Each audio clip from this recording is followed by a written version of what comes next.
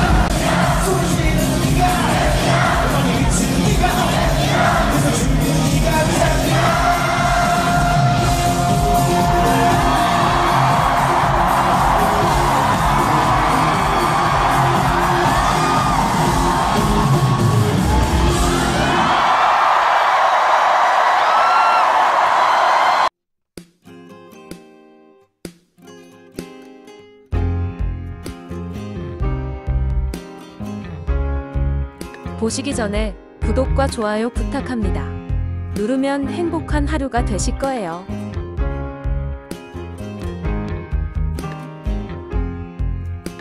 제길, 이건 진짜 콘서트. 청중은 완벽했다. 이것이 싸이가 만든 것입니다.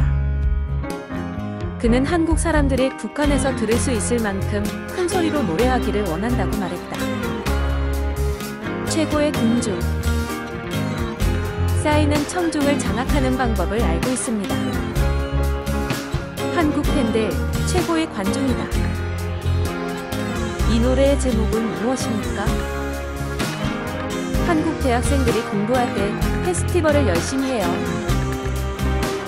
싸이는 프레디 머큐리의 한국판. 내 대학이 이렇게 흥미진진했으면 시청해 주셔서 감사합니다. 즐거운 하루 되세요.